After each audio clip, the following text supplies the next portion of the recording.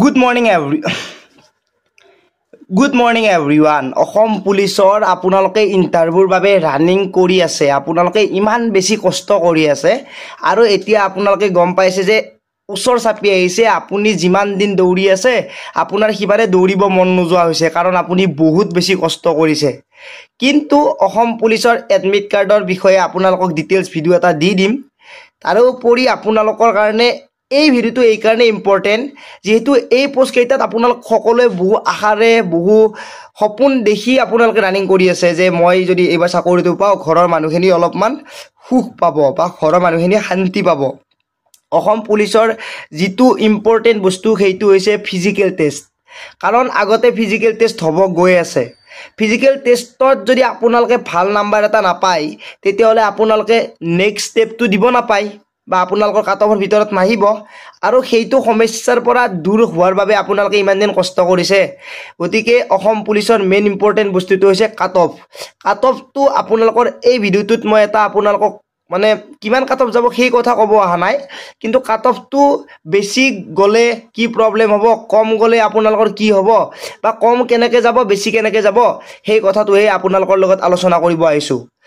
First কথাটো হ'ল যদি আপোনালোক সকলোৱে ভাল নাম্বাৰ পায় কাট অফ বেছি যাব। যদি আপোনালোকৰ যদি মানে ল'ৰা ছোৱালীখিনি নাম্বাৰ কম পায় কাট অফটো অট'মেটিকেলি কম যাব। সেইটো হ'ল ইম্পৰ্টেণ্ট বস্তু। এতিয়া ৰানিংটো আৰু লং জাম্পটো সকলোতকৈ বেছি ইম্পৰ্টেণ্ট কাৰণ চিন আপটো যদি আপোনালোকে এক্সিলেণ্ট মাৰে তেতিয়াহ'লে আপোনালোকে এ বি চিলেক্ট কৰিব পাৰে আপোনাৰ নিজৰ কথা। আৰু যদি আপোনালোকে চিন আপ এক্সিলেণ্ট নামাৰে তেতিয়াহ'লে ইউ বি চিলেক্ট কৰিব পাৰে সেইটো আপোনালোকৰ বাবে এটা চান্স আছে। কিন্তু ইম্পৰ্টেণ্ট বস্তু লং জাম্প আৰু ৰানিঙৰ নাম্বাৰটো এই যে লং জাম্পটো আপোনালোকে যি ফিল্ডতে নহওক আপোনাৰ কিমান যায় সেইটো টাইমত গম পাব। কিন্তু ৰানিংটোৰ লগত পাৰ্থক্য আছে। কাৰণ আপোনালোকে গমেই পাইছে যে বহুকেইখন ডিষ্ট্ৰিক্টত বেলেগ বেলেগ জেগাত ফিল্ডত ৰানিং হ'ব।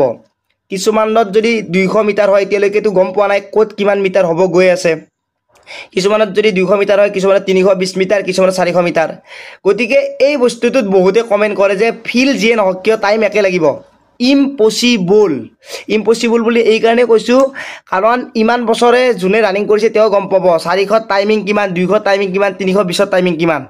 এবাৰ যিখিনি ল'ৰা ছোৱালীয়ে এঘাৰ মিনিটত ৰানিং কৰিব পাৰে চাৰিশ ফিল্ডত চাৰিশ মিটাৰত তেওঁ দুইশ মিটাৰৰ ফিল্ডত ৰানিং কৰি চাব তেতিয়া গম পাব যে টাইমৰ ডিফাৰেঞ্চ কিমান। ফাৰ্ষ্ট কথা এতিয়া যিখিনি ডিষ্ট্ৰিক্টত ইণ্টাৰভিউ হ'ব গোটেইখিনি ফিল্ড একে হ'লে তেতিয়াহ'লে কাট অফটো কোনো প্ৰব্লেম নাই। কাৰণ ইয়াতে দুটা ধৰণৰ কাট অফ যোৱাৰ চান্স থাকে। অফিচিয়েল নটিফিকেশ্যনত কি কোৱা আছে সেইটো কৈ আছোঁ। ফাৰ্ষ্ট কথাটো ইয়াতে দুটা ধৰণৰ কাট অফ কিয় যায় এটা ষ্টেট ৱাইজ এটা ডিষ্ট্ৰিক্ট ৱাইজ যদি ডিষ্ট্ৰিক্ট ৱাইজ যায় যদি আপোনালোকৰ ফিল্ড এখনেই হয় গোটেই ডিষ্ট্ৰিক্টখনৰ তেতিয়াহ'লে ডিষ্ট্ৰিক্ট ৱাইজ কাট অফ গ'লে কোনো ধৰণৰ প্ৰব্লেম আপোনালোকৰ বা আমাৰ নহয়। কিন্তু যদি ষ্টেট ৱাইজ যায় তেতিয়াহ'লে আপোনালোকৰ ফিল্ডত যদি চাৰিশ মিটাৰ আমাৰ ফিল্ডত যদি দুইশ মিটাৰ কাৰোবাৰ ফিল্ডত যদি তিনিশ বিছ মিটাৰ তেতিয়াহ'লে আমাৰ ল'ৰাই চাকৰি পোৱাৰ চান্স কমেই থাকে। দুইশ মিটাৰৰখিনিৰ কথা কৈছোঁ। কাৰণ কি টাইমৰ বহুত বেছি পাৰ্থক্য আহি যায়। লং জাম্প যদি আপুনি তাতেও দুইশ মাৰ এক্সিলেণ্ট মাৰে ইয়াতো এক্সিলেণ্ট মাৰিব। কিন্তু ৰানিঙত তাতে এক্সিলেণ্ট মাৰিব পাৰিলে ইয়াতে এক্সিলেণ্ট মাৰিব নোৱাৰে। আৰু যদি কোনোবাই বহুত বেছি কৈ থাকে যে দুইশ মিটাৰৰ আৰু চাৰিশ মিটাৰৰ টাইমিং একে তেতিয়াহ'লে প্লিজ এবাৰ আহিব আমাৰ ফিল্ডত একেলগে আমি ৰানিং কৰিম। তাৰপিছত আপুনি চাৰিশত কিমান টাইমত মাৰে দুইশত কিমান টাইমত মাৰে আপুনি প্ৰুফ কৰি দিলে আমি গম পাই যে য়েছ দুটা একেই টাইম যোনে যোনে বেছিকৈ কৈ আছে ক'ব সেইটোক কৈছোঁ সকলোকে নহয়। এতিয়া দুটা টাইপৰ কাট অফৰ কথা ক'লোঁ ষ্টেট ৱাইজ ডিষ্ট্ৰিক্ট ৱাইজ যদি ডিষ্ট্ৰিক্ট ৱাইজ কাট অফ যায় নিজৰ ফিল্ড যিমানেই নহওক কোনো প্ৰব্লেম নাই। আৰু ডিষ্ট্ৰিক্ট ৱাইজ কাট অফ যোৱাৰ চান্স বেছি আছে। অফিচিয়েল নটিফিকেশ্যনত কি উল্লেখ কৰা আছে সেই কথাটো কৈ আছোঁ। দুহেজাৰ এঘাৰৰ জনসংখ্যা অনুযায়ী আপোনাৰ ডিষ্ট্ৰিক্টত যিমান জনসংখ্যা আছিলে সেইটো কেলকুলেট কৰিব। মানে সেইটো হিচাপত পোষ্ট থাকিব। মানে ধৰি লৈছোঁ আমাৰ অসমৰ যদি আপোনালোকে দুহেজাৰ এঘাৰৰ যদি গোটেই ডিষ্ট্ৰিক্টৰ লিষ্ট ওলাই লয় এক নম্বৰত কাৰ ডিষ্ট্ৰিক্ট আছে সেইটো হিচাপত চালে তেওঁলোকৰ পোষ্ট বেছি পাব। তাৰে পিছত কাৰ জনসংখ্যা আছে তেওঁলোকে পাব। তাৰে পিছত কাৰ আছে? তেওঁলোকে পাব। সেইটো হিচাপত চালে এনেকৈ পাব।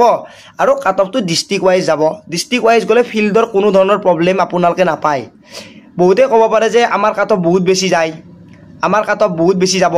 সেইটো আপুনি আপোনাৰ লগত কথা। কাৰণ আপুনি সেইখন ডিষ্ট্ৰিক্টত থাকে। সেইখন ডিষ্ট্ৰিক্টত নাম্বাৰ ভাল পাইছে। আৰু সেইখন ডিষ্ট্ৰিক্টৰ কাট অফত আপোনালোকে সোমাবই লাগিব। সেইটো বেছি যায় কম যায়। কোনোবাই ক'ব পাৰে আমাৰ ডিষ্ট্ৰিক্টত থাৰ্টি ফ'ৰ লাগিবই। লাগিবও পাৰে। কিন্তু আপুনি সেই ডিষ্ট্ৰিক্টখনত কম্পিটিশ্যন কৰিব হ'লে থাৰ্টি ফ'ৰ কিয় থাৰ্টি ফাইভ ল'ব লাগিব। কাৰণ আপুনিও তাতে সোমাব লাগিব।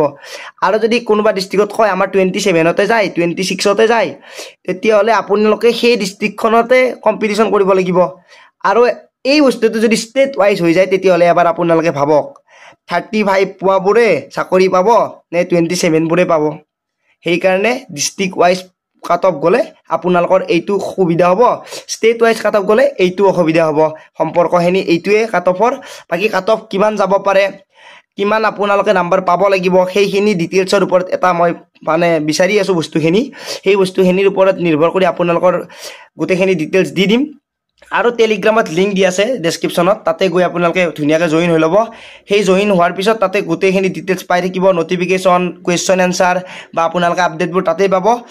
আপোনালোকে তাতে জইন হৈ ল'ব পাৰে। ভিডিঅ'টো সকলোকে শ্বেয়াৰ কৰি দিব লগতে চেনেলটো যদি ছাবস্ক্ৰাইব কৰা নাই এতিয়াও ছাবস্ক্ৰাইব কৰিব। সম্পূৰ্ণ ইয়াতে ফ্ৰীতে নটিফিকেশ্যন ইম্পৰ্টেণ্ট আপডেট পাই থাকিব।